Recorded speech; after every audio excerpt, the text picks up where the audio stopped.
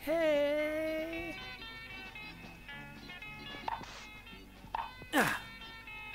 Huh?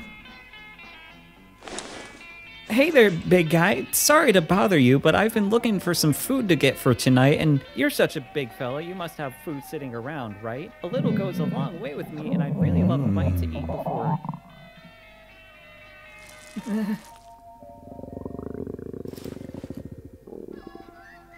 Ah.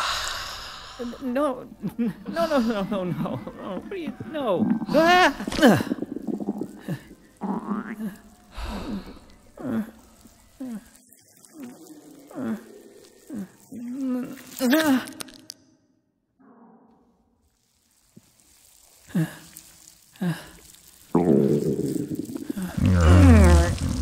Mm-hmm.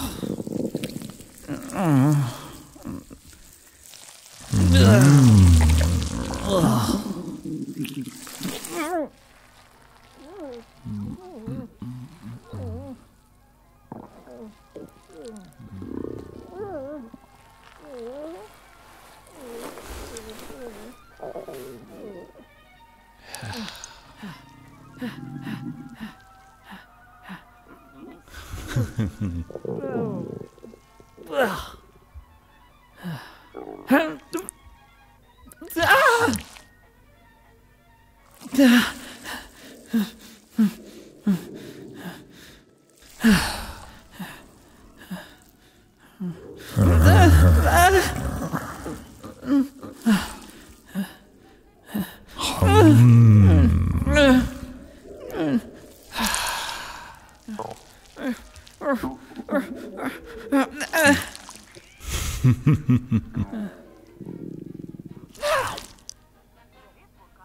Hmm.